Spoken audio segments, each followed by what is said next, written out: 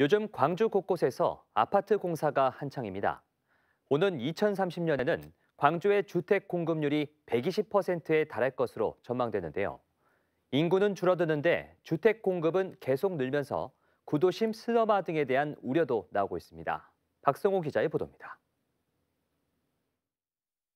2019년 말 기준 광주의 주택 공급률은 107%.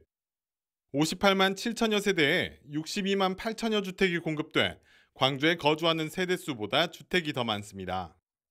하지만 대규모 택지 개발과 재개발, 재건축 사업이 곳곳에서 이루어지면서 주택 공급은 계속 늘어날 전망입니다.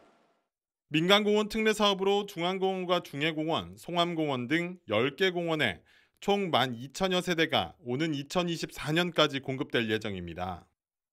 산정지구의 광주형 평생주택 13,000세대가 첨단 3지구 6천여 세대, 선운 2지구와 도시 첨단 에너지 벨트에도 각각 3,000세대의 아파트가 지어집니다. 여기에 광주 서구의 재건축 1,900세대, 동구와 북구의 재개발 단지에도 각각 2,400세대와 4,100세대의 아파트가 새로 지어집니다.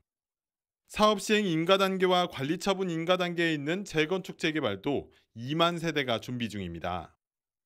민간에서 짓는 아파트까지 포함하면 2030년까지 16만여 세대가 공급돼 광주의 주택 보급률은 120%에 달할 것으로 전망됩니다. 시장에서는 과잉 공급에 따른 우려가 나옵니다. 집가 상승이 됨에도 불구하고 슬럼화가 되는 것도 사실이에요. 금액도 굉장히 낮아도 어, 사려하는 수요가 거의 없죠.